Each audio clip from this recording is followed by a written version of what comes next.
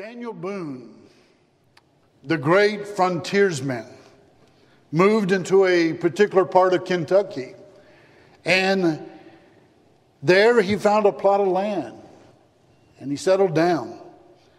He thought they were staying there for a while, but it didn't last very long. He came in one day and he's told his wife, he says, uh, Honey, he says, We've got to move, he said. Somebody has moved in within a mile from us, and it's really starting to get crowded here. here in Clearwater, to talk to those who have been here for many years, to, to listen to the stories of how that even Belleair Road was a dirt road at one time. It's hard to even imagine. To hear the stories of how there was hardly anybody here, but yet today we look at it in the surrounding areas and we're living in a crowded place. It's become crowded. It may be not as crowded as some other places that are out there, but we're getting crowded. But just because we live around a lot of people doesn't mean that we don't live around lonely people. There are many people who live in the city around a lot of people who are living purposeless, pointless lives, and those lives are filled with loneliness. You see, there's a difference in being alone and being lonely. As a matter of fact, sometimes it's good to be alone. All of us at one time or another will just need a break from people, right? Sometimes we like to get away with our families and take a vacation just, just to get away, just to be a, uh, to see from other faces, right? Sometimes you just need a break. But I found that during that time that Teresa and I were separated from each other, even though we were in the same home, even though that uh, I had to keep my distance from her because of the radiation, that even though we're in the same home, sometimes it could feel lonely. Many of you have asked, How, how are we doing? And you even asked how I'm doing uh, after you asked how she's doing. And well, we couldn't wait until that seven to 10 days was up so that we wouldn't feel lonely together in the same house, if you will. A lot of people this past year in this pandemic have felt times of loneliness. They were lonely and they became very, very depressed because of it. Physically, sometimes these people became very, very sick. You could be surrounded by people and yet still be lonely. Teddy Roosevelt said this about the presidency. He said, It is the loneliest job in the world. Now, wait a minute. The focus of the world's attention is upon you. What do you mean that you're lonely? Well, it's lonely at the top, he says. There are a lot of people that are lonely around us. It could be the person who comes into a particular church gathering, much like this, and finds themselves surrounded by people, and it could be that that person might say to themselves, Well, I, I sure hope somebody speaks to me. I sure hope that people would speak to me at this service so that I don't feel lonely. I would hope that people would leave our service at any time and, and to feel like the, that they didn't feel lonely, that we were friendly people, that it felt like home, and that occasionally down through the years I've gotten a note at one time or another that nobody spoke to me, that no one said anything, and I'm wondering how, how is that even possible? That no one at all had spoken to you as we have always been proud of ourselves to be able to be as friendly as possible and to make sure that we greet everyone that comes in. I have to ask this question Did that person sit next to me that felt lonely? Did that person sit in any particular section? Was I observant? To that one who was visiting services on that particular Sunday? Could I tell that they maybe were flipping through the songbook and they couldn't find the song because there's such a list? They, which one is it? And they will go through each song to find the right one. Did I not reach out and, and point them to the right song to help them? Loneliness. People are reaching out. People are are asking for someone to be a friend. In Psalm 142 and verse 4, it was the psalmist David that says something here that was truly tragic. He says, I looked on the right hand, and behold, there was no man that would know me. Refuge failed me. No man cared for my soul. How tragic. To think that nobody on earth cares about me. I think of all of us at one time or another probably have repeated these words of the psalmist that is in Psalm 22 and verse 1 when he says, My God, my God, why hast thou forsaken me? And of course, we know that Jesus said that on the cross of Calvary, the very Son of God saying, My God, my God, why hast thou forsaken me? You know, the Bible makes it very clear that Jesus was tempted and he was tried in all points like we are, and that's how and why he relates to us. Yet without sin, and that's why he relates to God. And, and Jesus knew loneliness. There was a man who went to the doctor. To, he said, Doctor, he goes, I'm, I'm mentally depressed. I don't, I don't know what to do.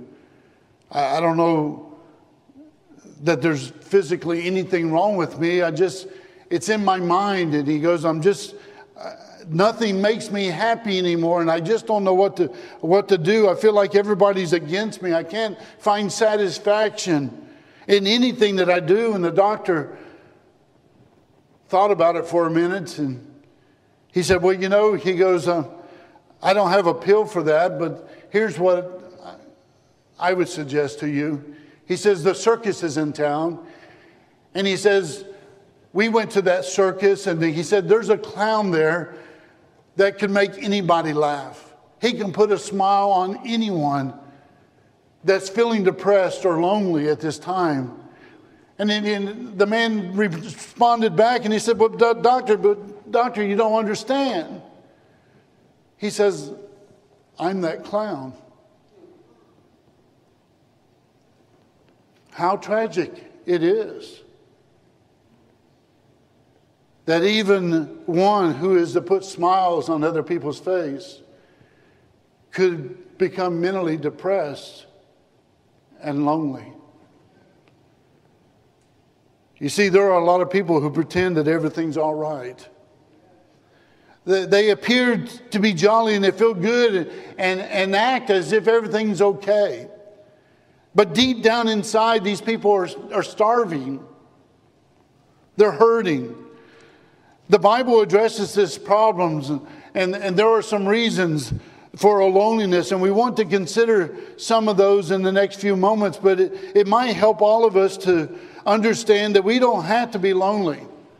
And, and maybe we can help other people who are feeling lonely. In Genesis 1 and verse 27, we learn that we were created in the very image of God, and it's very important that we were made in the image of God. That's why we are precious in His sight uh, red, yellow, black, and white. Why? Because all men were created equal in the image of God. One thing I learned about this that if God created man in his own image and he gave us the ability to choose, that makes God a social being, doesn't it? He, he wants us around him. He don't need us, but he wants us. He wants our love. And God loves interacting with us. And so He made us in His image. Therefore, we have that desire. Social beings. What, what is it that causes homes to break down? Husbands and wives will often divorce. And for what reason? The lack of communication or communicating the wrong thing. Sometimes it's called incompatibility, but we just simply did not communicate properly. Husbands and wives can live in the same house and they can grow apart because they're not communicating properly. And so sometimes children also can feel that their parents are distant, not willing to relate, not willing to open up, not willing to communicate with them, and that leads to loneliness. You see, when communication is lost, we become lonely. What happens? For example, when death occurs, when a person loses his parents to death, or when parents lose their children to death, they've lost that connection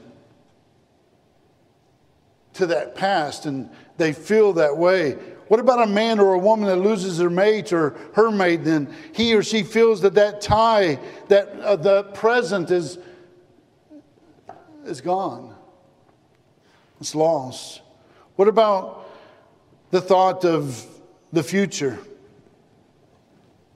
To think about all the things that we could have done, Lord willing. But now it's not there and the loneliness sets in.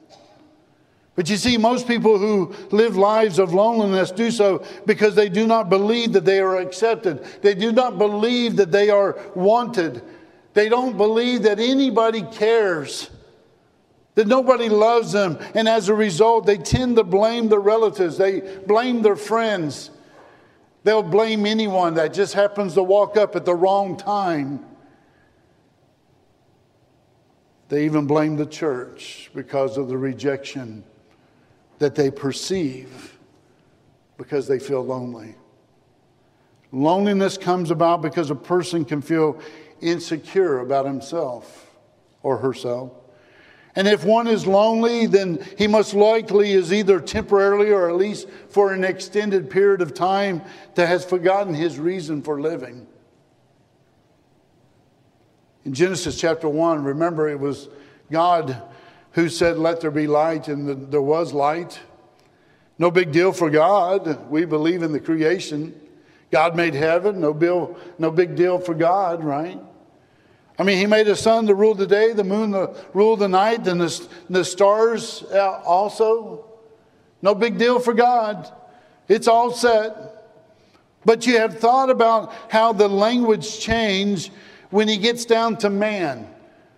On day six, let us be being the divine Godhead, he says, let us create man in our image after our likeness. Genesis 1:26. Let him have the dominion. Why does he have dominion? Because he's the direct creation of God. Therefore, he's the dominant creation of God and he's the distinguished creation of God. Let him have dominion. God's going to have a, a different kind of relationship with the one that he calls man, you see. Not with the animals, but with man. He, ha- he will have a different relationship with him because you see, he gave, he gave him a soul, a soul that dwells within him. And thus we have a consciousness of God. I don't care who we are, there is a consciousness that we have of God. That's why we believe in eternity, not just because the Bible tells us that. Just not because the Bible makes it clear that there is a heaven, we believe in it because it dwells within us. We want to believe that. We were made to believe that, and that's the consciousness of God. And one thing you will notice about also about God's creation is that God got personally involved when he created man. In Genesis 2 and verse 7, he formed man from the dust of the ground and he breathed into his nostrils. And man became a living soul. He then formed the woman from the side of man. You see, God is personally involved. And so man begins a relationship with God. But what happened in Genesis 3? We know that the devil is always up to meanness, always interested in, in hindering relationships between God and man. He comes on the scene when sinner enters the picture. What happens? Well, the relationship is hindered because God is holy and now man is unholy. So that's why we rejoice to know that through Christ that that relationship that was once together been severed by sin is now back into that right relationship once again restored because all have sinned and come short of the glory of God Romans 3:23 Nobody is left out but communication was hindered with God Man enjoyed a life of an, an opportunity to walk with God every day. It was a very close relationship, but sin entered.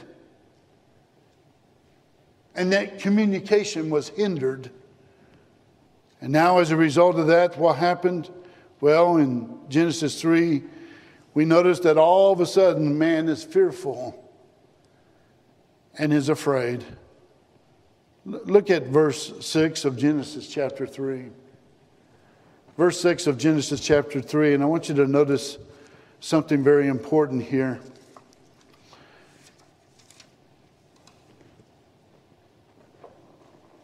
And when the woman saw that the tree was good for food, and that it was pleasant to the eyes, and a tree to be desired to make one wise, she took of the fruit thereof and did eat, and gave also unto her husband with her, and he did eat.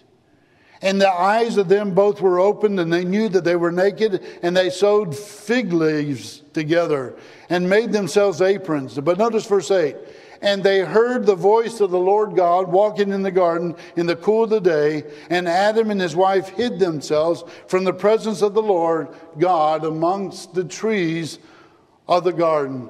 All of a sudden, the relationship is different. It is no longer the same. The first couple now is experiencing this thing that we're talking about this morning called loneliness. You can take loneliness all the way back to its roots, and you'll find that it comes from an estrangement from God. That doesn't mean just because there are lonely people that these people are ranked sinners. No, it doesn't mean that at all. It doesn't mean that they are evil people if they are lonely. No. All of us experience loneliness, and by so doing, we don't give up the faith that we have in God but you trace it back to its roots right here in Genesis chapter 3. And so when a person leaves God and leaves God out, when a person takes his focus off the divine, he likely will feel loneliness. And so there's a universal problem here. But really, it is a problem that can be cured if only we understand some biblical principles that we can put into practice. There are a couple of passages that I believe can really help us with this problem of loneliness and maybe able to help others as well. Go with me, if you will, to Luke chapter 10. I mean, Matthew 10. Matthew chapter 10. Jesus is speaking here, and here's what he says Matthew 10, verse 39 he makes this very profound statement. He says, He that findeth his life shall lose it. And he that loseth his life for my sake shall find it. Now, that's an interesting statement here. Jesus is speaking, or is Jesus speaking of martyrdom, martyrdom here? Is he saying that the only way that you can follow me is that you will have to give up your life for me physically? No. That's not what Jesus is saying here. Losing self in Christ, that's what he's saying. Philippians 1:21 for to me to live is Christ and to die is gain. Paul tells us. You see, when one loses himself in Christ, you see, he's no longer preoccupied with his self. He's no longer interested in just promoting self. What he then begins to do is what God wants to see fulfilled in, our, in all of our lives is to take the focus off ourselves, to take it, the focus off yourself and start looking outward.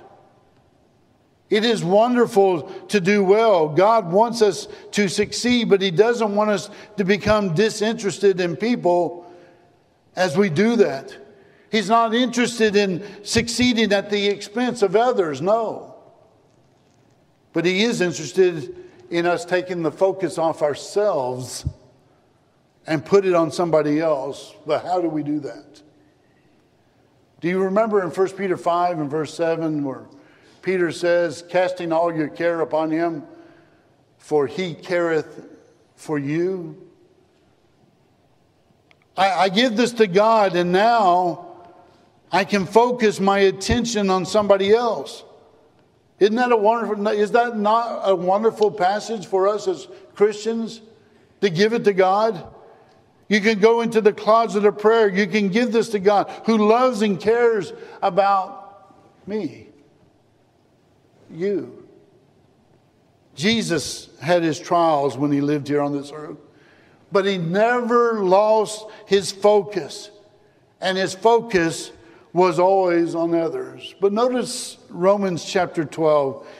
And here's one of the greatest chapters, if you will, ever written on Christian living. Romans chapter 12, and I want you to notice several passages beginning in verse 3 to help us deal with this problem of loneliness. In notice verse 3 of Romans 12. He says, For I say through the grace given unto me to every man that is among you, not to think of himself more highly than he ought to think, but to think soberly, according as God has dealt to every man the measure of faith. Now, we are living in a very egocentric age, an age of fame and friendships. That in order to get ahead, that many will run over other people, leaving them in the dust. Well, that's not true to Christian principle. And really, what is going to happen is that this person who lives this way will end up living lonely in their lives.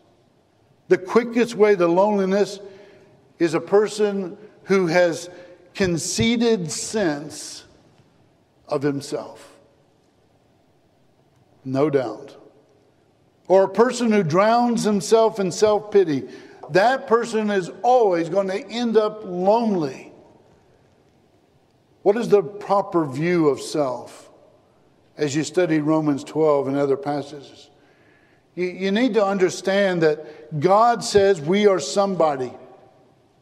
We were made in His image. I am somebody, but I'm not the only body, right? The other people too were created in the image of God, who I should care about and love, that I should be concerned about. And so we need to have the proper view of self, and that means that I need to know who I really am. I am somebody, but not the only body. And then to be caught up in something bigger than myself. Look at verse 5 of Romans 12. So we, being many, are one body in Christ, and every one members of one another. Now, of course, that's the church, and the church is the body of Christ, members one of another, but all are one in unity. That is why we are working toward the same goal, not caught up in just getting our own way, but many being one. That takes every person working in his or her own place, fulfilling his or her own role to carry out this plan. How many of us, so many times, are filled with the idea that it's all about each one of us individually? Maybe the author, the creator says, You've forgotten me. And how many, how many people who do think it's all about themselves, they travel the road of loneliness because they're not willing to reach out to others. They don't include other people in their lives, including God. But an interesting verse in Acts 17 28 says, For in him we live and move and have our being. In order to overcome this problem of loneliness, we had to have the proper view of self. The second thing is, is that we had to be true to self. Not only must we have the proper view of self, but to be true to self. Look at verse 9 of Romans 12. Let love be without dissimulation, abhor that which is evil, cleave to that which is good. It was Shakespeare who once said, To thine own self be true, right? You see, when you refuse to love the good, when we refuse to despise the evil, even the evil of a bitter spirit, and a lot of people have a root of bitterness within them, you lose respect to the respectable. And not only that, you lose respect for yourself as well. There's the, that's a pathway that leads to loneliness, no doubt. But be true to yourself and have the proper view of self. Be caught up in something bigger than yourself and be true to yourself and then take the focus off of self. Look at verse 12 of Romans 12. Rejoicing in hope patient in tribulation, continuing instant in prayer, distributing to the necessity of saints, given to hosp- hospitality, bless them which persecute you, bless and curse not, rejoice with them that do rejoice, and weep with them that weep, be of the same mind one toward another, mind not the high things, but condescend to men of low estate, be not wise in your own conceits. One reason that people feel lonely is that through constant complaining, negativity, sympathy seeking, is that they could never win any friends. No one wants to be around them. No one. All that negativity, uh, we hear enough of that on the news.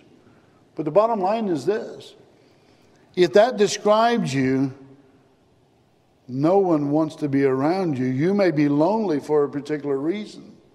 Lonely because the focus is upon yourself. You say, Yeah, well, but I've been through some particular problems and nobody else knows what it's like. Oh, but wait a minute.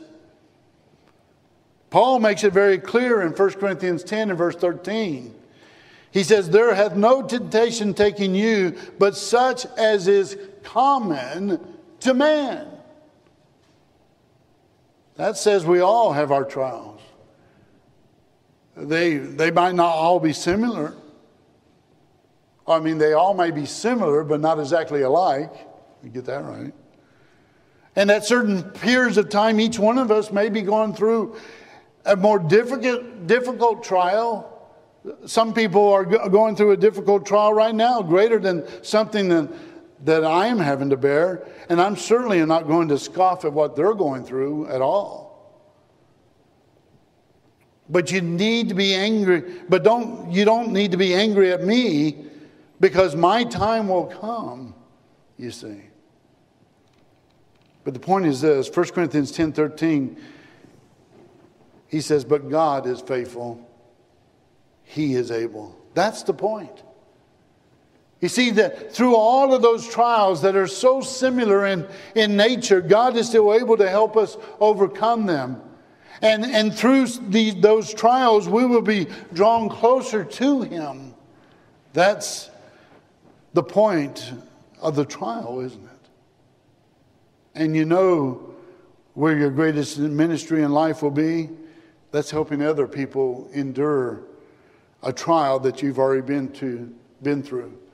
I've told you before, sometimes a person will come to me about some bad news, and this is what's happening in my life. And, but because of their particular trial, I will immediately, immediately think of a person that I know that was going through that same trial. And I say, You need to go talk to that person. There, there could be, they, they've already been through this, and, and they might be able to help you through because they were able to help themselves through a marriage situation, if you're having problems, I know of a couple who have had the same problem, but, but they've overcome it. You need to go and you need to talk to them. Financial problems. I know of somebody who's been where you are. Just go and see them. You see, your ministry will become helping somebody else to overcome or endure what you have already had and overcome.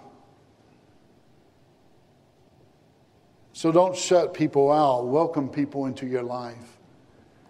That's what Jesus did. Brother Bailey once said, he says, the reason Jesus was so interesting to others is because he was so interested in them. I like that. I remember one preacher who passed away a few years ago. You know him well as he preached here for just a few years. He had a great life, he had a great career. He knew the Bible inside and out, upwards, downwards, and, and over and through. But he was in his office one day, and a member of the local congregation called him, and she was so angry. She said, I, I've been sick and, and I've been in the hospital, and nobody called me from the church. You, you didn't, the elders of the church didn't, nobody else called. He said, he says, Excuse me, excuse me, but I didn't even know you were sick. How was I supposed to know that you were sick and that you were in the hospital? Well, how are you feeling now? Are you feeling better? I'm glad that I'm glad that you was able to overcome that. You're doing much better now. But here's what I want you to do. I want you to go into that kitchen of yours and I want you to bake that famous cherry pie that you make that is so wonderful. And I want you to take that pie and I want you to go and find somebody that's sick and I want you to take that to them. She got mad and hung up right there on the phone. A little bit later, she called him back. She said, I want you to know something, preacher. She said, I, I did what you asked me to do, not because I wanted to, but out of spite.